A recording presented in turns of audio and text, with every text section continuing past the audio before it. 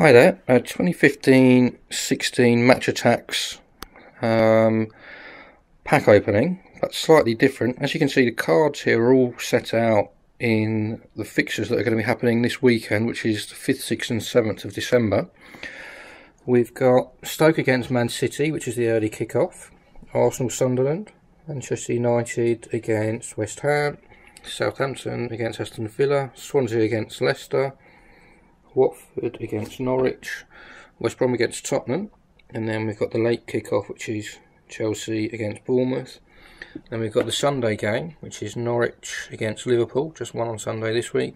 And then we've got the Monday night game, Everton against Crystal Palace. What we're going to do, we've got three random regular packs here, and on the basis of usually about 30 35 goals over a course of a weekend in the Premier League, we're going to open these packets and obviously each card that comes up for the relevant team will score them a goal. So we'll see if we get anywhere near the correct score. So let's open the first packet.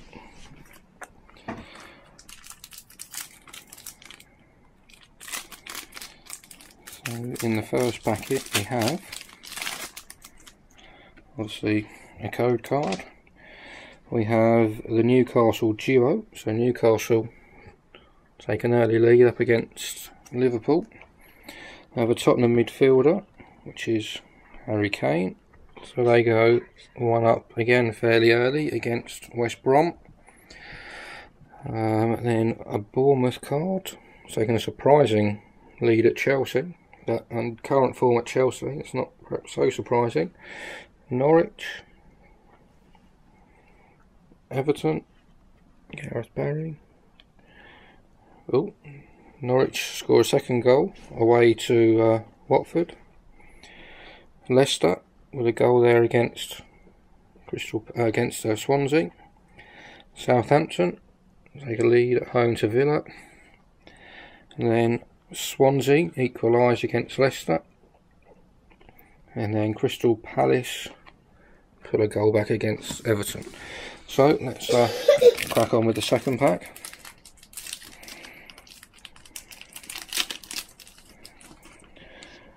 We've got a Swansea badge, so they take the lead against surprising leaders of the or joint top of the league, Leicester, and then Stoke score against Man City, who then immediately equalise. Everton take the lead back against Crystal Palace.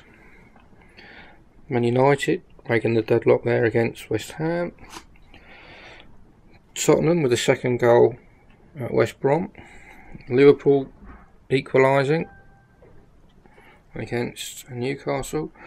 Watford pulling one back there against what uh, Norwich.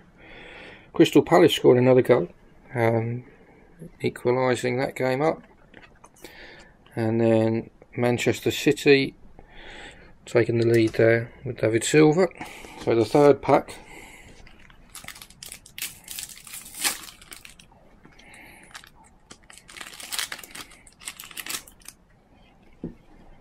the code card. Newcastle there, taking the lead again against Liverpool. Stoke equalising against Man City, who then again immediately take the lead to make that 3 2. Watford coming back from 2 down to equalise against Norwich. Manchester United there to make it 2-1. 2-0 even. West Brom pulling one back against Tottenham. And Liverpool equalising against Newcastle. Watford coming from two behind to take the lead 3-2. Swansea making it 3-1 against Leicester. And Aston Villa with a last minute equaliser against Norwich. So, uh, the results that we've had today are Stoke 2, Manchester City 3, Arsenal and Sunderland are playing a goalless draw.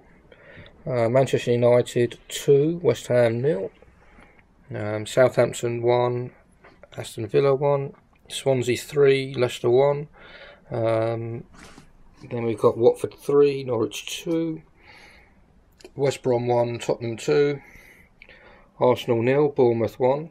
Um, that would be the most incredible result, but uh, let's see how we go.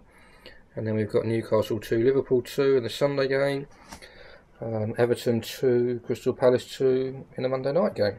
Um, we'll probably do one of these every um, every round of fixtures now. Um, so keep an eye out for lots more and uh, like, subscribe, and uh, let's see how accurate we are.